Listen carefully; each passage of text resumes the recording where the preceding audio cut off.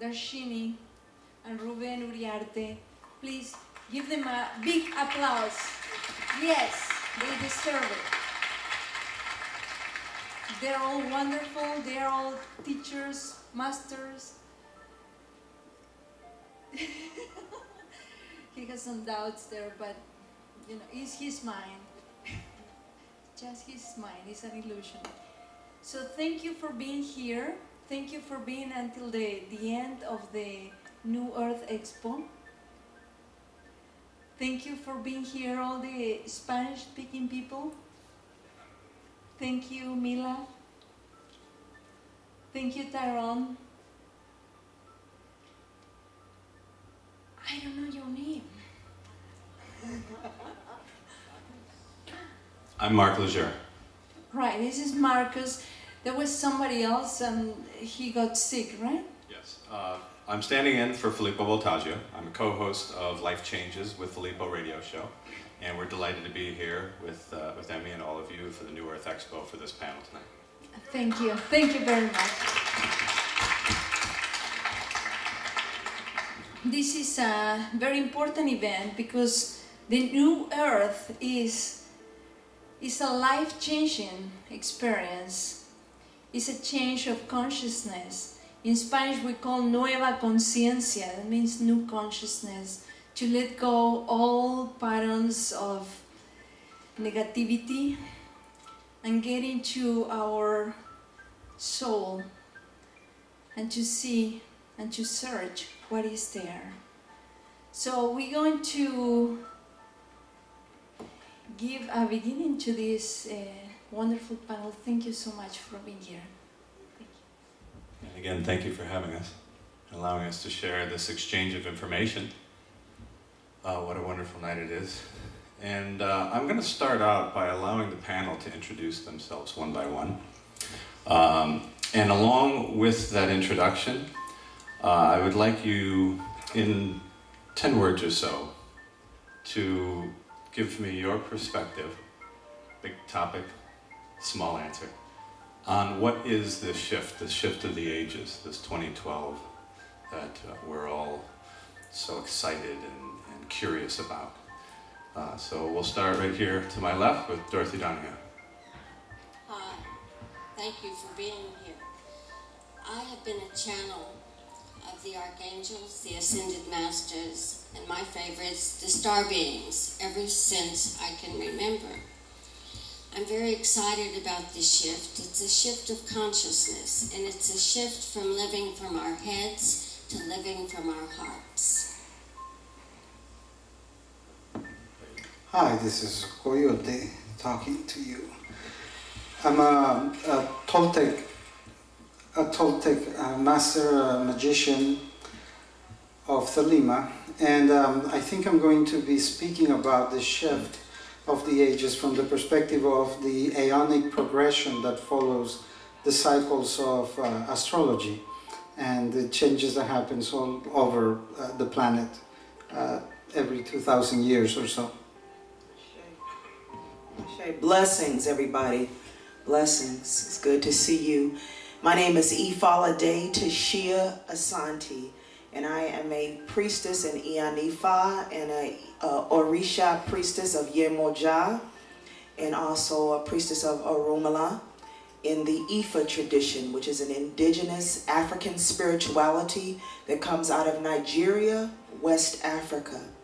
And some of you may know me from the role that I played in the reality TV show Mad Mad House, which aired on the Sci Fi Channel a few years ago. I was the priestess um, that played on that particular TV show. And in terms of the shift of ages, I'm going to speak to it from a spiritual and indigenous perspective um, of how I've been able to do my work as a healer as a seer and intuitive and medium.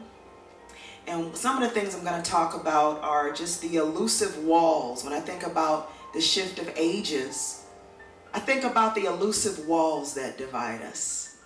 The many, many walls that divide us our religions, our gods, our genders, our economic and social status, the food wars, the wars for territory that divide us, that make us think and believe that we are different from one another.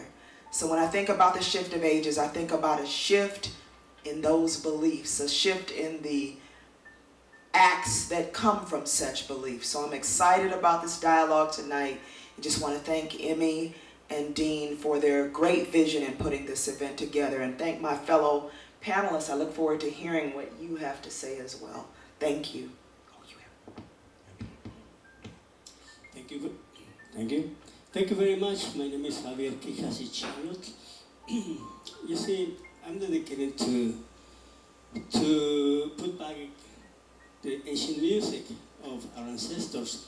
For me, it's very important because um, spending my whole life to put all together.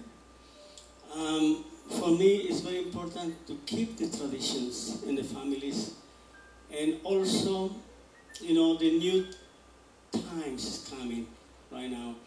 We have, um, to be an artist, we have a big responsibility to change the world, to help, and trying to teach the new, the new generations with a new mentality to change this world. So so I'm trying very, very hard, spending all my life studying, living with different, different indigenous people, learning the whole kind of ceremonies, rites, and and the whole. Thank you. Ah, much better. okay. Ah, We'll start again. uh,